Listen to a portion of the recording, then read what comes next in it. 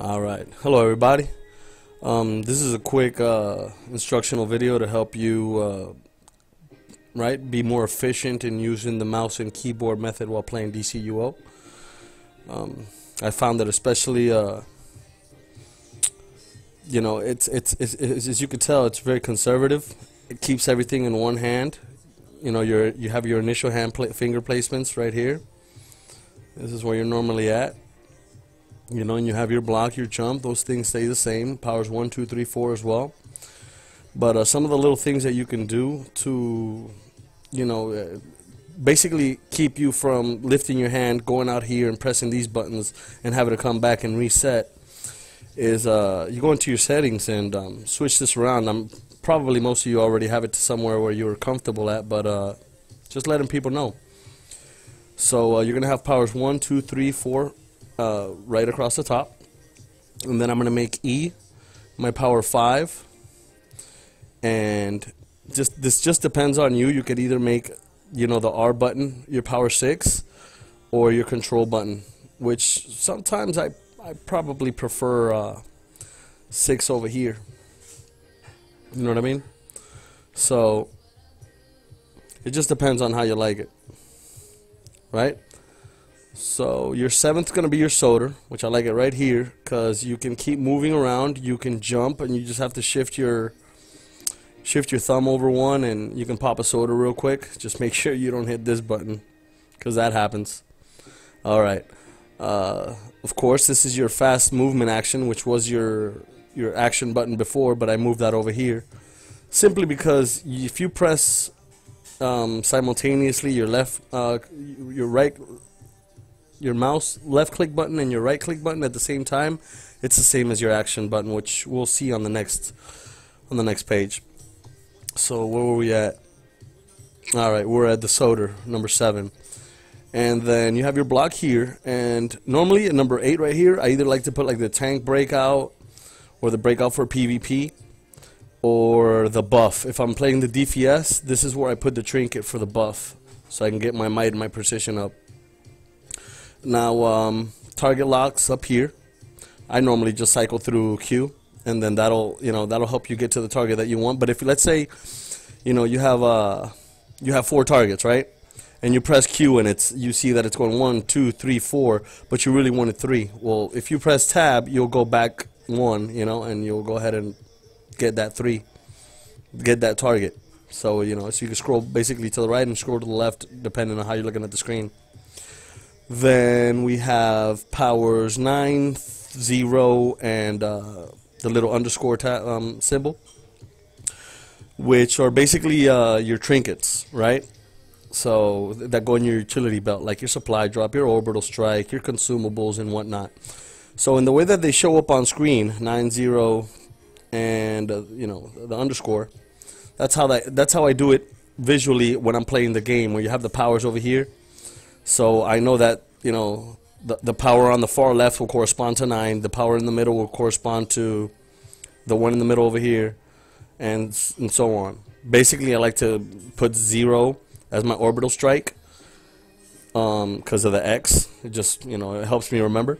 And uh, here in C, I like to go ahead and uh, I, I like to put my supply drop. It's just easy access over from D, and it's close to like a soda and if you go one down here to nine, this is uh, either a consumable or you know sidekick or backup. Just depends on how your what your utility belt gives you at the moment.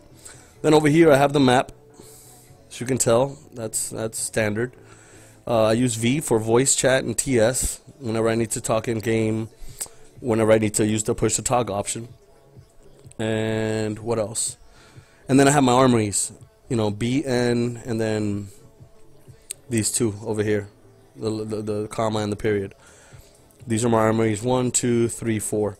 You can set these up however you like, but it's just easy access and you can switch, you know, on a dime.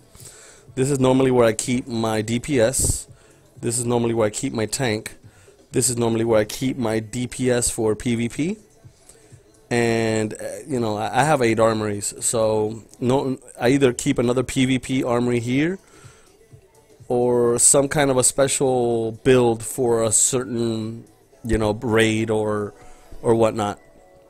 So this is um you can configure it this way, tweak it around just a little bit, but uh, as you can tell, your your main fingers and your hand placement is going to be here, and you can literally access everything without having to uh, to lift up your hand, go over here, press one of these buttons, and then come back and hope that you know you land in the right place and you don't pop a power that you weren't supposed to pop. You know what I mean? Or a pool instead of a shield or whatnot. So let's move on to the mouse and make sure I covered everything here. Yeah. So if we go to the mouse, these just uh, complement each other. As you can see, I have uh, different colors up here so that you can tell the different kind of setups. So let's go over the black one first, which is the initial setup for moving, farming, and whatnot with one hand. When I mean farming, I mean farming exobits. So every now and then I just, you know, I'll farm exobits with just one hand and do something else with the other, or just, um, you know, I just I'm, i just want to lay down or something. I don't really want to feel like flying around, so I'll have this setup going so that I can fly around and you know search out exobits and whatnot. So you're gonna put W um, over here in this side button so that you can move forward, and then you'll use this one for jump so that you can fly or you know just jump over anything. And then if you press uh, down on on the scroll wheel that's where I have my fast movement mode. So I just press down on that and all of a sudden I'm going you know super speed. Of course if you roll in roll out you get your zoom in action and if you press as I said it before if you press at the same time activates the action button so if you press this uh, left left mouse click, right mouse click at the same time. It's basically the same as pressing the action button. Just got to get used to it, but it's it's a lot easier once you do. Now, let's say you're you know you're you're, you're tanking and uh, you're taking massive damage and you got a whole block like forever and you you've been in the raid for like an hour, which is one of the reasons that I came up with this one, this setup. Um, and your your fingers really just getting tired of blocking with your left hand. So what you can do is you can switch it up, keep this the same, right? But you can switch it up where this mouse click right here becomes your your block button, and then this becomes your pull, right? And uh, that way it's just easier to tank. You, you you know you can press your powers and move around with the other hand, while you can block and or pull with this one.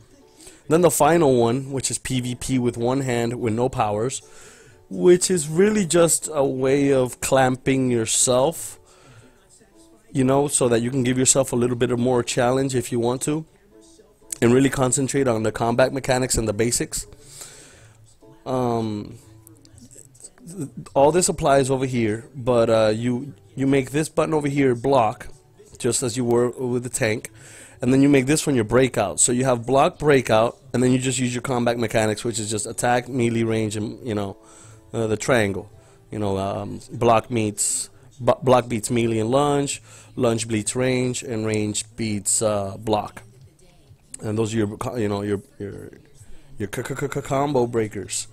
So yeah, apply what you've learned, and if uh, if you already know about this, just uh, keep keep doing it but it's helped me out a lot. So I just wanted to share it you with y'all real quick. So uh, maybe it'll help you and you know clipping better or you know popping four or five powers plus a consumable and a trinket at the same time.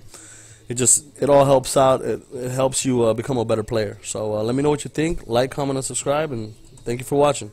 Take it easy, y'all.